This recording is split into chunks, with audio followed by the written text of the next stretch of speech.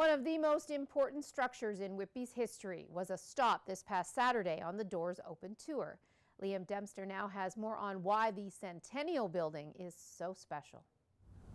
The Centennial Building, Whitby's original courthouse, has been around almost as long as Whitby itself and has more stories floating through its halls than one may think.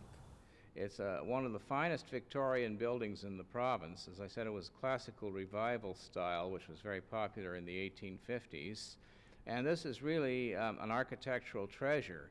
It's uh, designated under the Ontario Heritage Act as a historic building, and it's something that Whitby should really be proud of.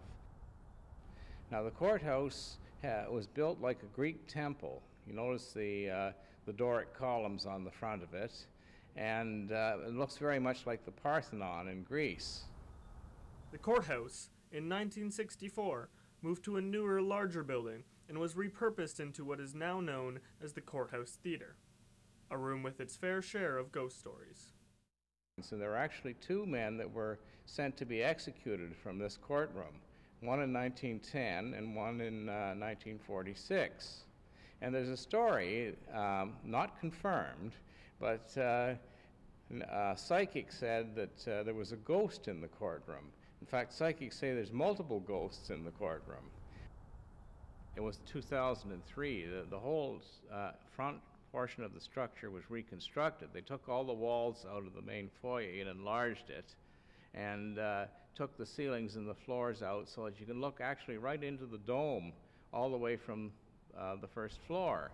Well, the dome was part of what was called classical revival style. And this was popular in the 1850s, and it's really an ornament. Well, there's several historical artifacts here. Uh, I guess the most important is the Merryweather fire engine. And that is uh, a steam fire engine of 1872 that was bought by the town of Whitby for $2,000, which was a lot of money in those days.